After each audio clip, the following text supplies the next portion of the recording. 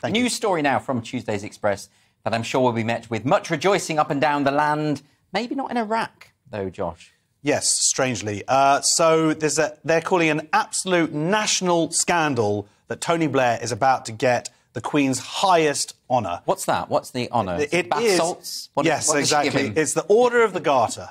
uh, there we go. Joining him will be Camilla, Duchess of Cornwall, this, in this intake, and also Baroness Amos.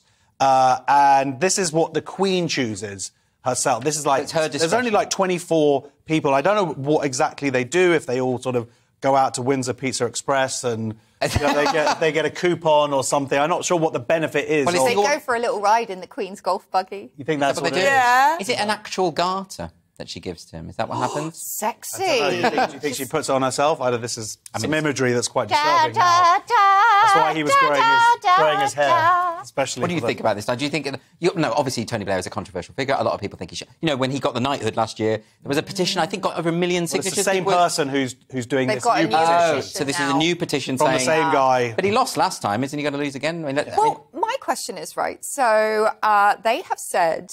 Prince William has said, look, if you're going to put Andrew there, I'm not coming there. And they've even cut Prince Andrew from this in case Andrew gets booed. Yet they're inviting t- Sir Tony, who, what, nobody's going to boo him? of course they are. I mean, uh, because even lefties hate Tony Blair. No, I, well, I'm a lefty. I like. He's the best PM of my lifetime.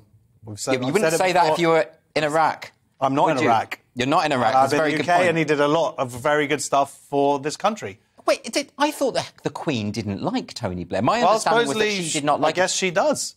It's, maybe it's just like she didn't like it. Maybe it's that thing where you don't like someone, and then you see the alternatives over the years, and now she's like, "That was the best girlfriend I ever had." Oh, a bit like the way all, all, so lefties in America now think that George W. Bush was brilliant. Yeah, yeah. Because, because compared to Trump, he's wonderful. But they've forgotten that at the time they all were tearing their hair out over him. Yeah. Can I just read one thing at the Go end? At the end of the article, it says um, this is someone quoted on Twitter at Sam Bell four three three seven one six two five said, "I have no words."